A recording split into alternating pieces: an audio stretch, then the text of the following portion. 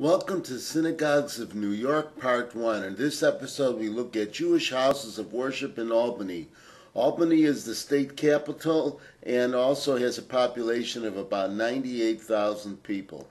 The first stop is at Congregation Beth Abraham Jacob, an Orthodox shul. The building shown here was constructed in 1990. and There is a current campaign to remodel it. The origins of this synagogue dates back to 1838 with the formation of Beth El Synagogue. Its current name implies that there were mergers along the way, however, we do not have the information on it.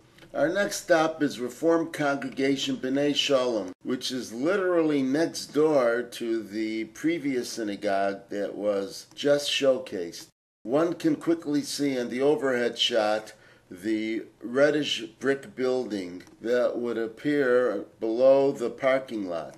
That is the roof to the congregation Beth Abraham Jacob Orthodox Synagogue.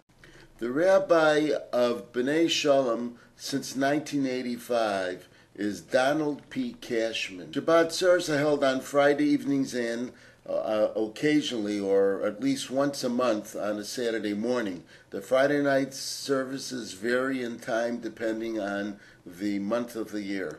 The congregation was formed in 1971 and moved to this location in 1979. There are two Chabad locations in Albany. One is the Chabad of the Capital District.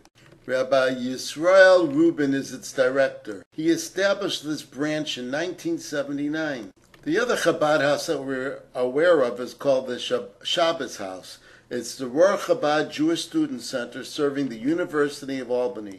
This was also founded by Rabbi Rubin in 1976. The director at this location is currently Rabbi Mendel Rubin. He has been in charge since the fall of 1997. And then there's Congregation Beth Emet a reformed temple. There's not much current information we can give you on the congregation because their website was hacked. But we do know that it was formed in 1885 with the merger of an Orthodox congregation, Anshe Emet, and a young Reformed congregation, Beth El. We believe this building was erected in the 1990s. And here is its earlier home, that was constructed in 1887, and one can still see the Hebrew letters of the biblical verse etched on the portal. Our next stop is Congregation Ohav Shalom, a conservative affiliated synagogue. Besides Shabbat service, they have a morning service every day of the week. The congregation was established in 1911 and for the next 11 years held services in homes. The building shown here was erected in 1964. It has two spiritual leaders, Daniel Ornstein and Rena Kieval. And here's another conservative synagogue, Temple Israel. David M. Eligberg is its rabbi.